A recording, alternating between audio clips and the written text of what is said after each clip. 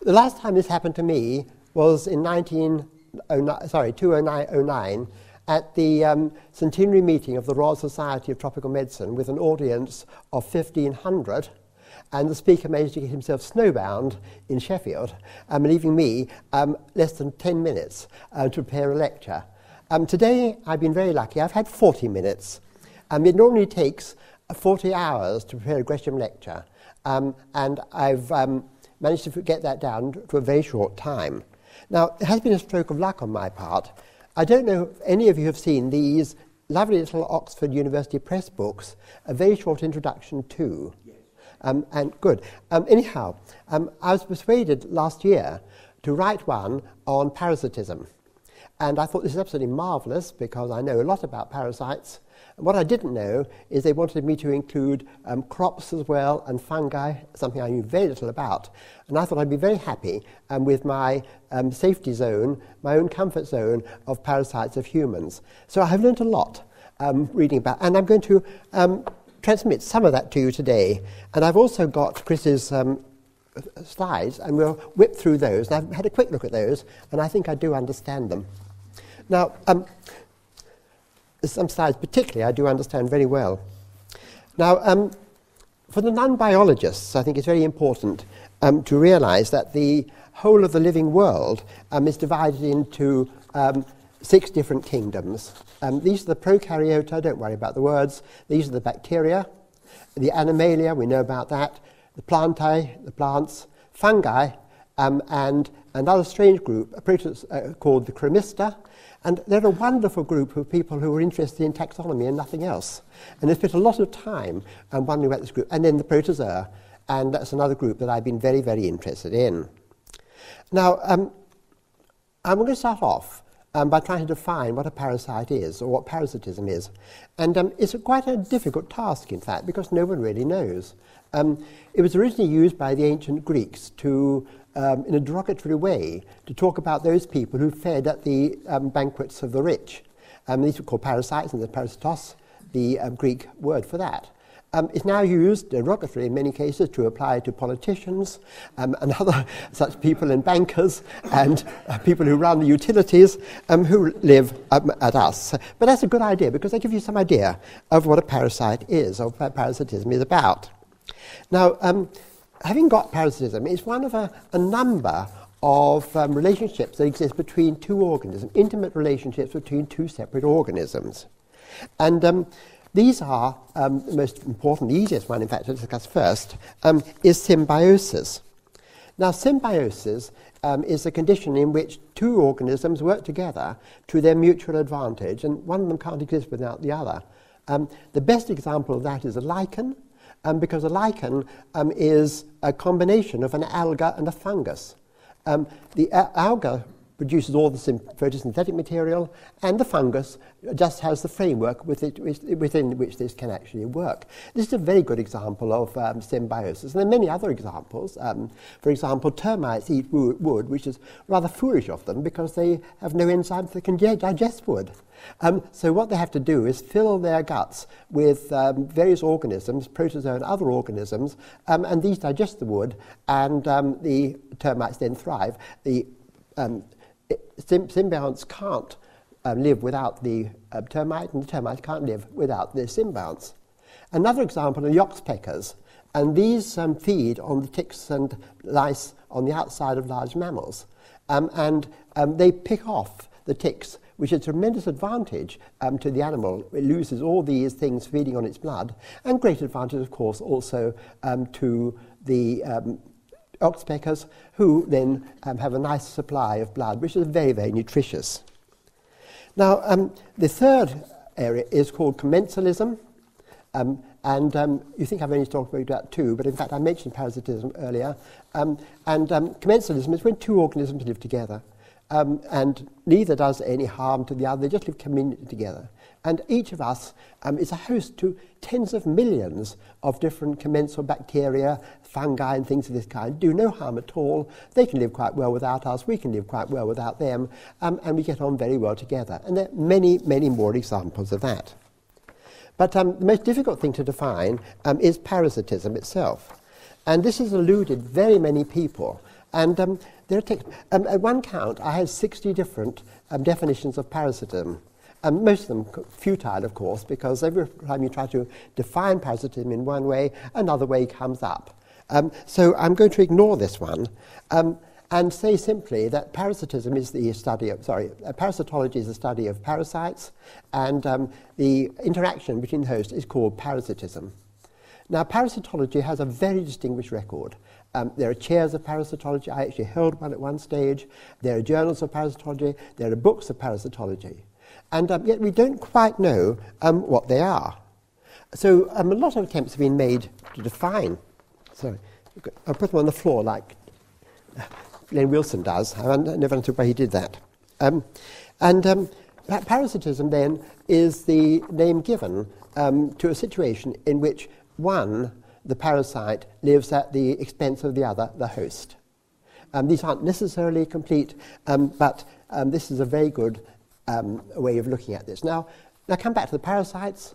There are lots of them. I've ignored the prokaryotes, the bacteria, and um, the most important parasites are the protozoa, single celled organisms, the worms, and there are three groups of worms. There are the roundworms, um, the tapeworms, and um, the, sorry, the roundworms, um, the tapeworms, and the flatworms. Um, and I'm very interested in these. Um, and there are also the fungi, and the fungi are quite a fascinating group. Now, they all have their particular adaptations, and um, again, have caused a lot of interest in parasitology, mainly from an evolutionary, not mainly from an evolutionary point of view, um, but from the point of view of the diseases they cause, um, and also from an evolutionary point of view.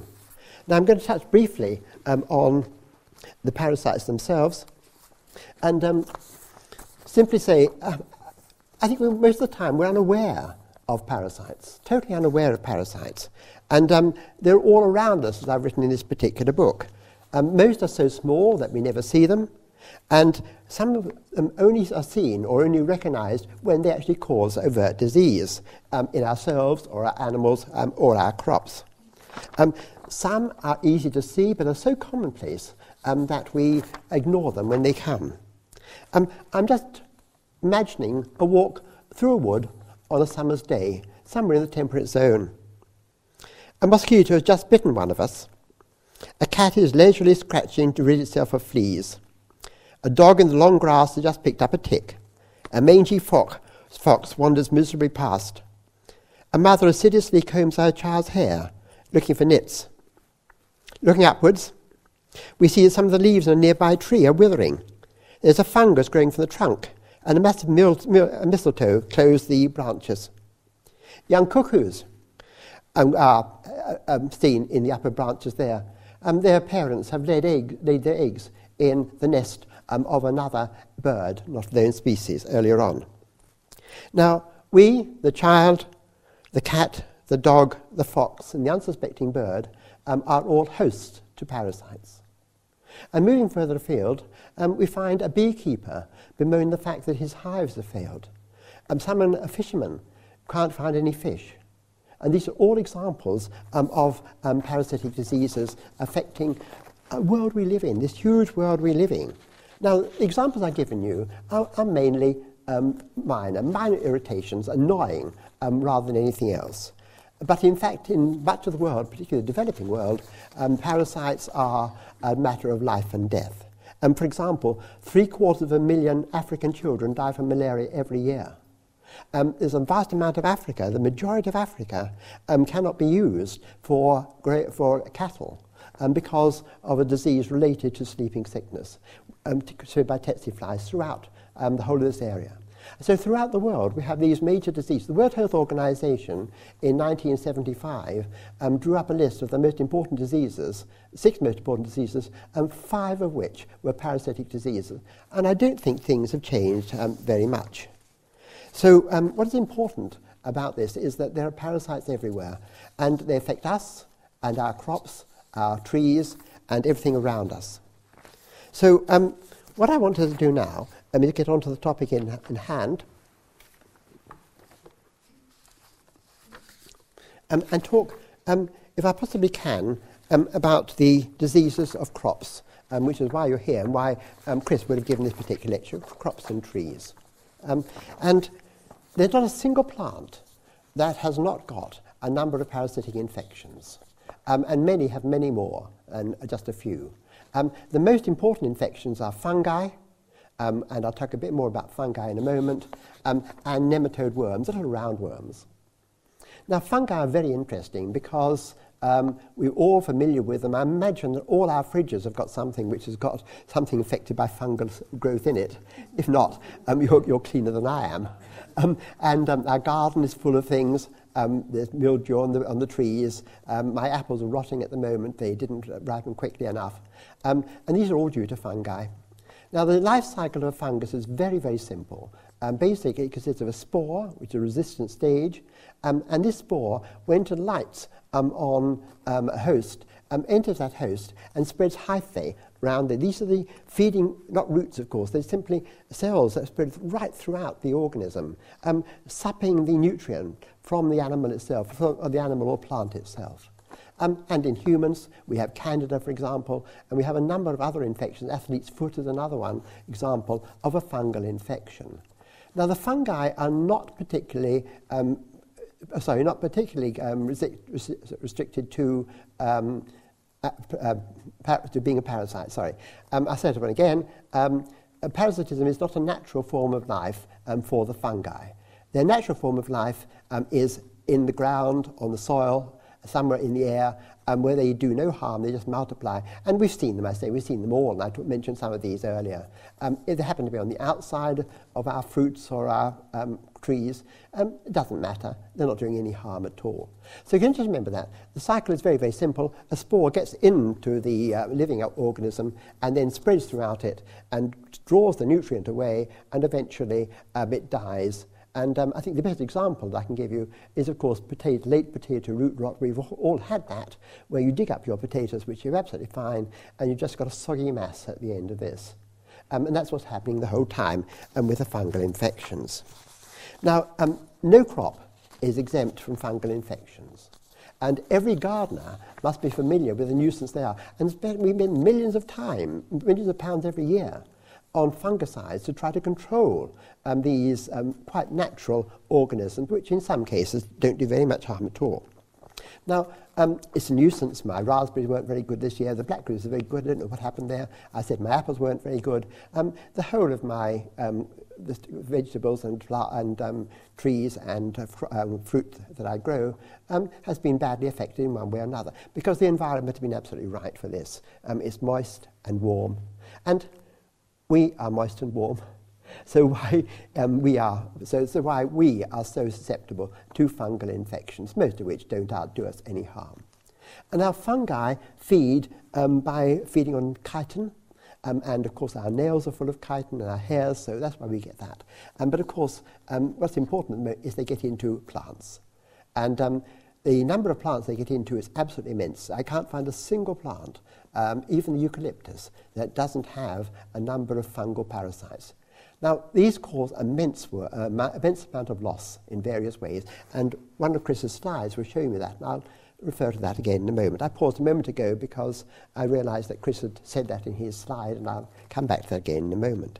Um, now, the world's most important crops are rice, wheat, maize, potatoes, soybean, uh, and sugar cane. And last and also, uh, not a food crop, but cotton. Now, these crops are of immense value to everybody because, in fact, in some parts of the world, um, the success of these crops is the difference between life and death. If you're trying to keep a small farm going in Uganda or Kenya or somewhere like that, um, you cannot possibly afford to let your crop be taken over by these fungi. It's a massive, um, import- massive importance. Now, I'm going to briefly go through some of these um, and um, rice, I think, is probably the most important. I've got some figures here. Um, rice originally came from Asia. It's produced mainly in Asia at the moment. Um, and uh, there are 45 separate species of fungi that attack rice. Uh, they take the roots, they take the stems, they take the whole of the rice, and some actually get into the rice grains themselves. So there are lots and lots and lots of fungi um, that are attacking um, our rice. And as I say, in many parts of the world, rice is the staple crop, staple um, crop, and loss of rice can be absolutely tremendous. And I've got some figures here. Um, in um, the world as a whole, and that's including New Zealand and China, um, there are 700 million metric tons of rice produced every year. Um, some of that ends up on our plates in the Indian restaurants around here, um, but most of it, in fact, is the staple diet for people living in some of these countries here. Now, um, what is one of the problems with rice is that it grows in water. And water, moist habitat, is just what you need for the fungi to grow, produce their spores, and to spread around. And when they do spread around, it can be absolutely devastating. Um, there are 20 species involved, 20 species of fungi. They, sorry, um, I, I, said a moment ago. Um, I got it right yes. Um, lost a moment. I'll come back in with that. Um, it's um, yeah, about 20 fungal diseases caused by 45 different species um, of um, fungus. So they're very, very susceptible. Great problem is trying to bring this under control. And because you can't use fungicides, um, because you can't pump fungicides into the water um, where these plants um, are growing. Very, very difficult to control indeed. Um, if we want another example, wheat, um, very good crop. It's grown under all conditions, it's very important to it. And it's um, one of our most important, probably um, the most important um, crop, food crop. And uh, people argue about that, but I think it's quite sensitive. But um, it's particularly important to us in the Northern Hemisphere, in Australia and New Zealand, where we grow very sorry, vast amounts of it. Um, in China, for example, um, there's an annual production of um, 700 million tons, of sort of figure that I gave you earlier. These huge sums, these huge amounts are actually produced, these metric tons here. Um, and um, wheat is affected by over 50 species of fungi.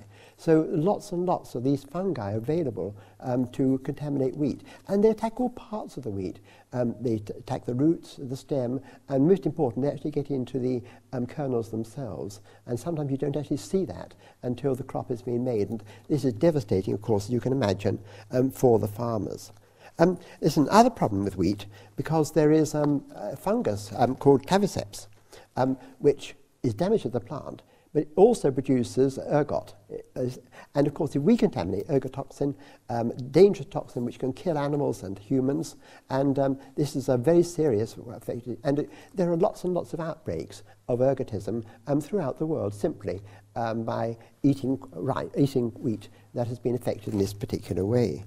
Um, the um, other loss, of course, to of wheat is to uh, birds that feed. And of course, if they feed on the um, ergotoxin infected wheat, um, they die as well. So there's a, a tremendous knock on effect on the habitat as a whole. Now, potato is a major crop worldwide, one of the most important ones. Um, there are 370 million tons produced annually and they're affected by, but it's affected by over 30 species of um, fungus. And as I said earlier, fungi like, live in the soil, they like in the soil, potatoes are in the soil, um, it's nice and easy for them to get in, and they're very, very serious indeed. And um, the most important fungal infection of potatoes is late blight, um, which can kill um, over 100%, uh, sorry, not over, up to 100% of the crop. And this is the one, of course, which changed the world in the 1840s and when the Irish crop um, succumbed to this. Um, so potato, late blight in potatoes, has had a very serious effect um, throughout the world. And um, the fact that the Irish diaspora is much greater than the number of people in Ireland itself at the moment, Irish in Ireland, is due um, to the potato blight. And um, my mother uh, um, was writing um, when she was a, a young girl, leaving Ireland, um, even after the potato blight, was very scared um, that the potato blight would come back again. And she, like many young women of her age at that time, um, moved out of the country. She went to Canada um, just to get rid of the, the fear, not the blight itself, but the fear of the blight. And I think it's important to say that. It's often the fear of some of these diseases um, that more are more important here. Um, lots of species are um, found in potatoes. I think we've all had them in the gardens and so.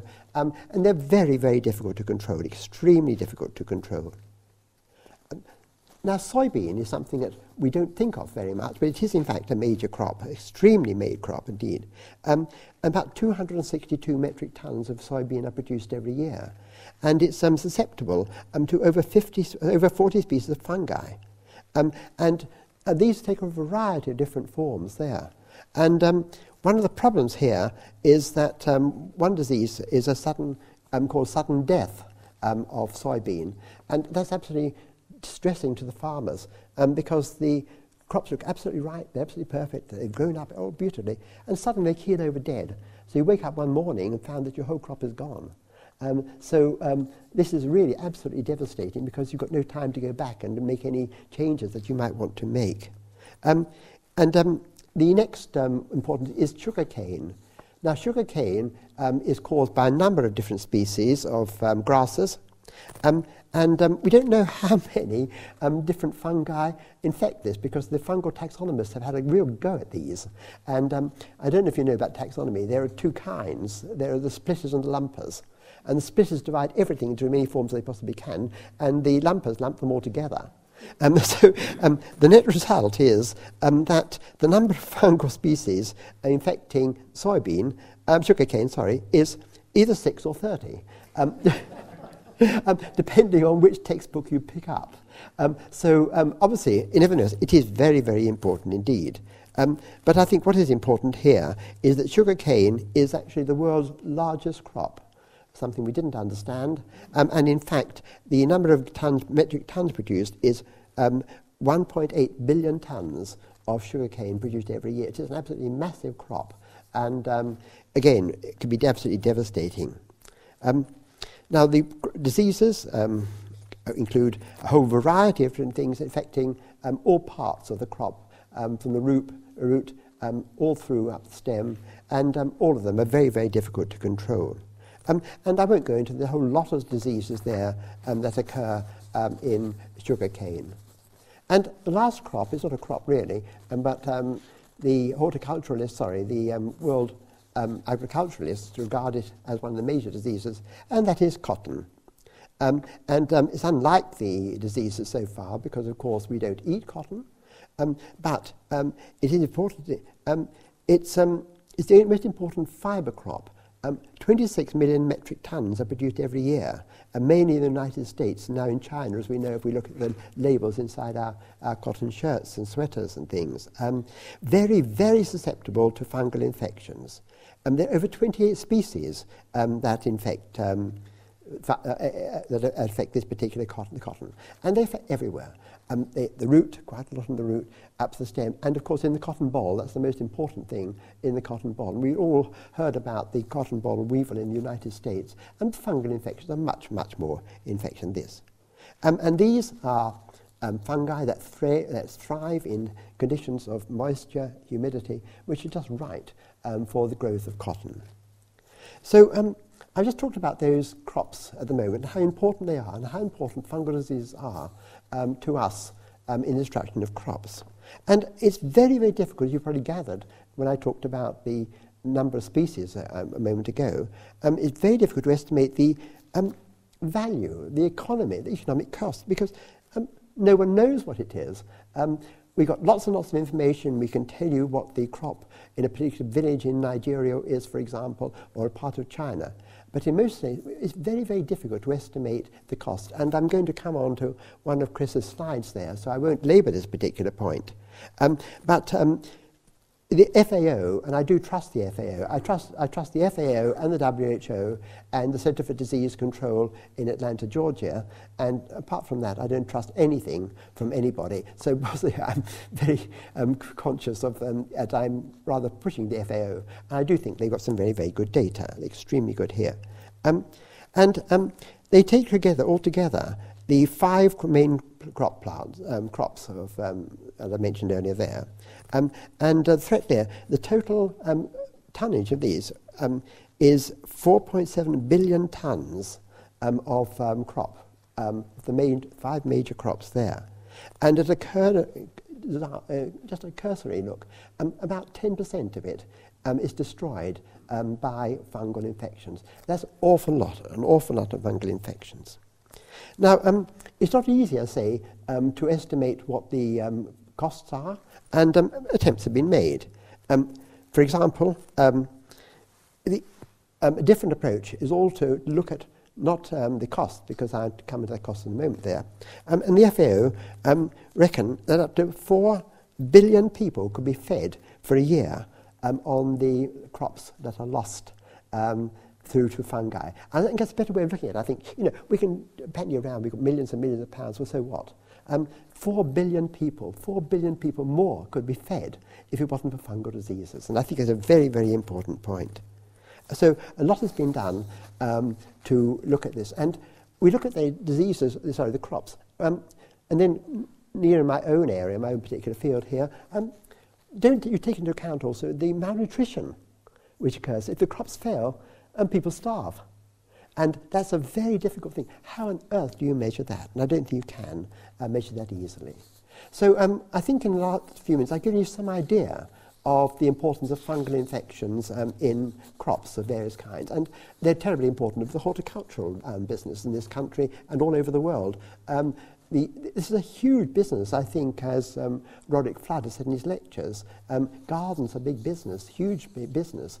And um, fungi are very good business for the um, garden shops, of course, because you buy more and more of the plants and you put them in the soil and they die and they die again. And people don't realize that um, you can't get rid of the fungi from the soil. You've got to be very, very careful not to replant material there.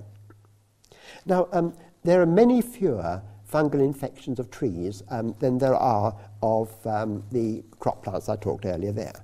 Um, and um, it's estimated that about 30 important ones, of which 20 are very important. Now, you know, compare that with the numbers I've been giving you before. That's for trees as a whole, not just an individual species of crop or crop species. Um, about 20 or 30. Um, and I think if I was studying fungi, um, I would study the fungi of trees because there won't be so many to remember, but that's um, a, bit, little, little, bit, little bit selfish. Um, the, um, now, the attention, of course, um, they attract the attention because of their effects. And people, newspapers write about these. No newspaper writes about the failure of a rice crop in China. People do write a, a lot about the fact that their chestnut tree in the garden um, has suddenly um, died. So an awful lot of attention here.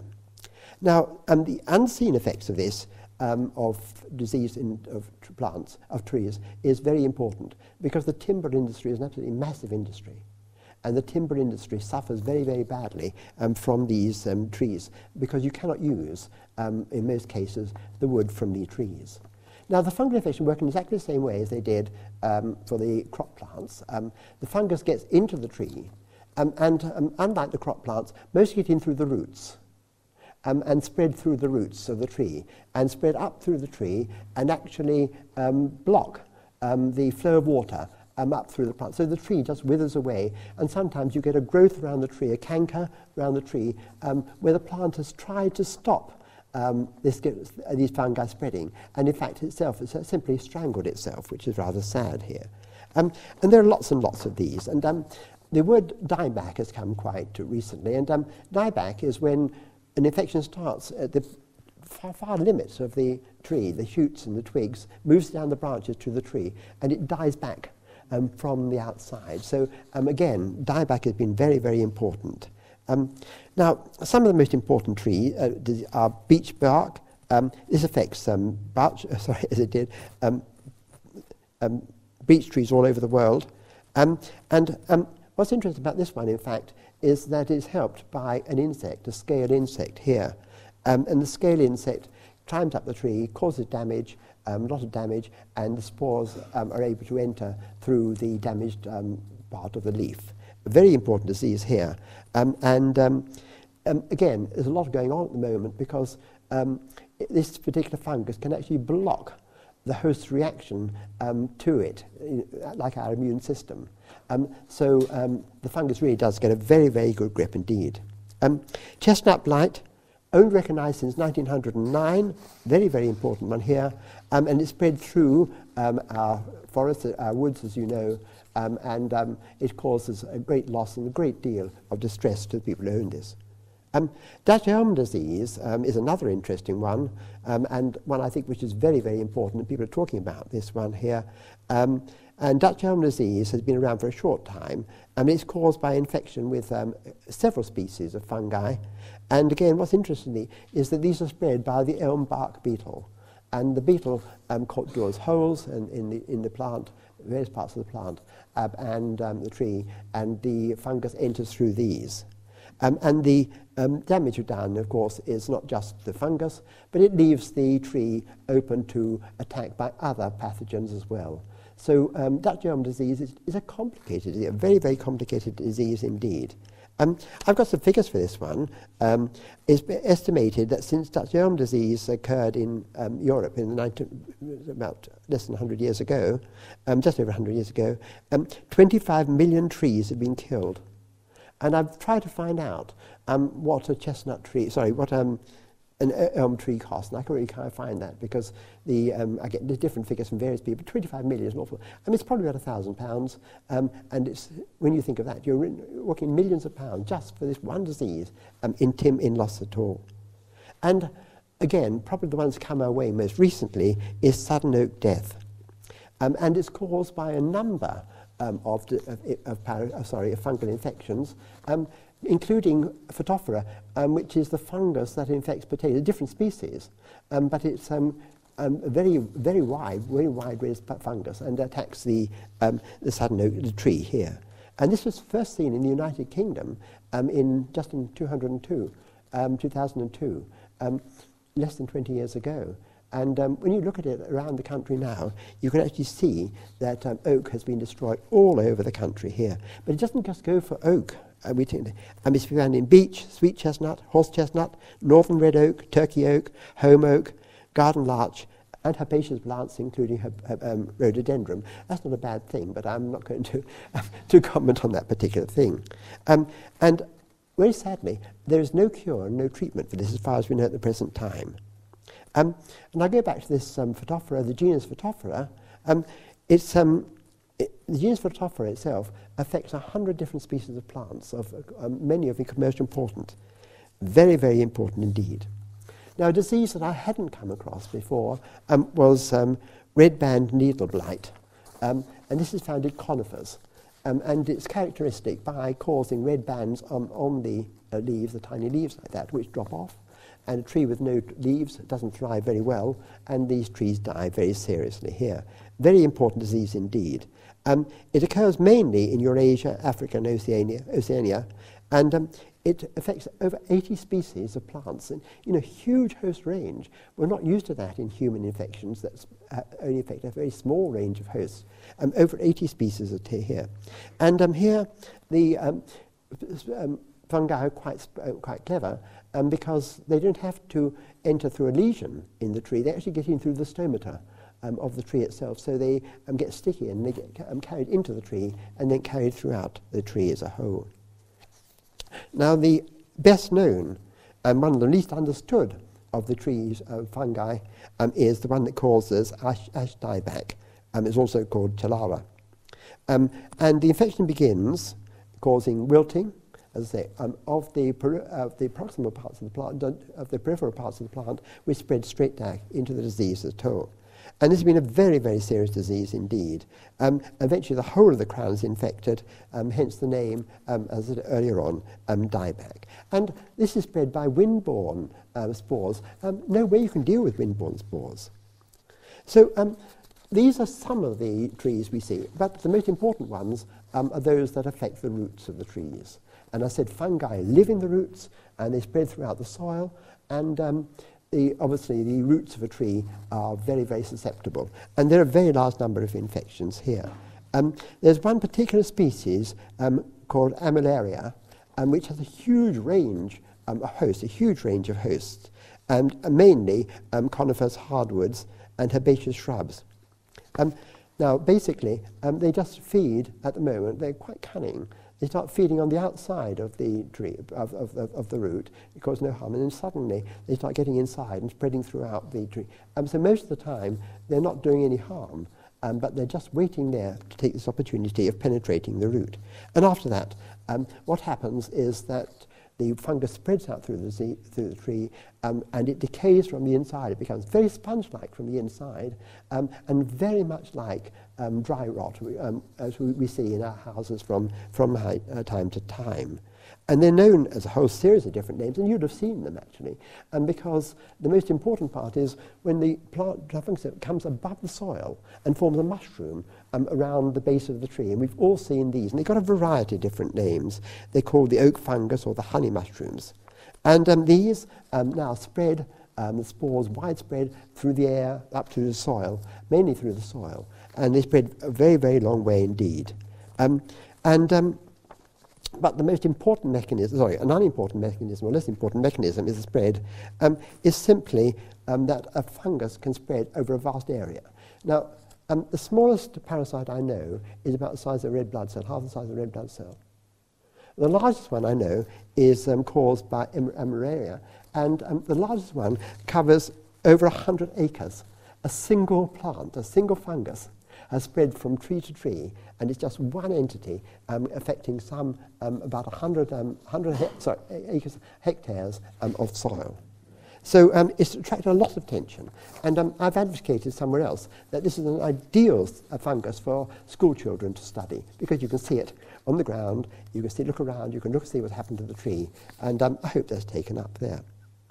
Um, now, um, again, figures. I, um, it's been reckoned here that in the United Kingdom alone, um, just two diseases, red band needle blight and sudden oak death, um, costs nine billion pounds um, each year. Just these diseases, and you know, they can take away my bu- bus pass to save a few hundred pounds, and yet these fungi, um, yeah, um, these fungi causing much, much more damage than that. Um, and as well, I just uh, it had a vast impact on the timber industry, of course, um, but also on um, the scenery, the landscape as a whole. And um, great cities, that's Edinburgh, Amsterdam, London, have lost many of the cities, big trees that used to line the boulevards. Um, they're gone forever. Edinburgh has changed completely. Amsterdam has changed completely.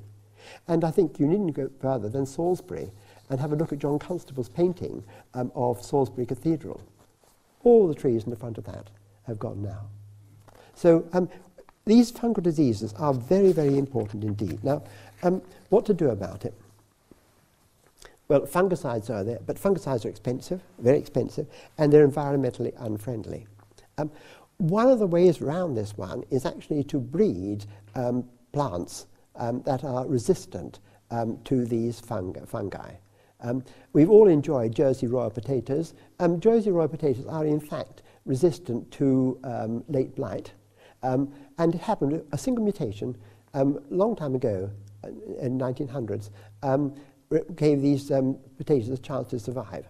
Now, um, it takes a very long time to breed a, a tree, for example, breed a, a tree or a large plant. And there's a much easier way to do it, and that is by genetic engineering. And it's so easy to do to breed these plants um, that are genetically resistant to, for example, drought um, with increased um, productivity of, in, in terms of increased crop, better growth of trees, etc., etc. Um, but we don't like genetic engineered things at all. Um, so we're very scared about that. And there's very, very little um, effort going into breeding um, genetically engineered um, crops of this kind um, because of the international dislike um, of genetically engineered material.